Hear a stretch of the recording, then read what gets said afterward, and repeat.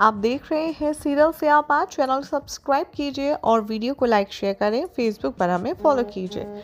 बात करते हैं टीवी सीरियल मंगल लक्ष्मी के आने वाले एपिसोड की तो आप देख ही रहे हैं कि सौम्या ने जानबूझकर चालबाजी, जालसाजी से सौम्या और आदित्य के रिश्ते के का बारे में सब कुछ खुलासा किया और हाल ये हुआ कि कुसुम ही नहीं, बल्कि मंगल को भी सौम्या और आदित्य के रिश्ते का सच पता चल गया।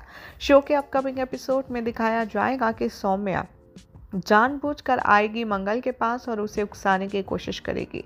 वो मंगल को ये जताने की कोशिश करेगी कि आदित्य उसके कहने पर रुका था और इसीलिए वो समझ जाए कि आदित्य और उसके बीच में क्या चल रहा है और आदित्य की ज़िंदगी में सौम्या की क्या इम्पोर्टेंस है।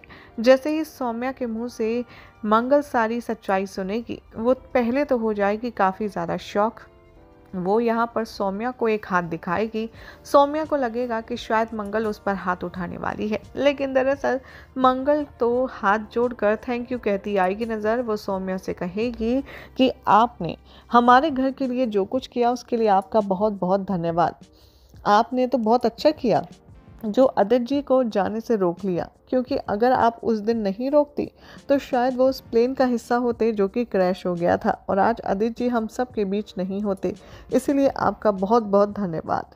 मंगल का ये रिएक्शन देखकर बिल्कुल भी अच्छा नहीं लगता। सौम्या को वो सोचती है कि मैंने तो सोचा था कि मंगल ये बात सुनकर तमाशा करेगी, बहुत बड़ा बखेड़ा खड़ा कर देगी, लेकिन ये तो मुझे ही थैंक यू बोलकर आगे चलती बनी। आगे देखेंगे आप कि कैसे मंगल। बहुत ही ज़्यादा हर्ट होगी उसे जब पता चलेगा कि आदित्य इसलिए नहीं गया क्योंकि उसे सौम्या का बर्थडे सेलिब्रेट करना था।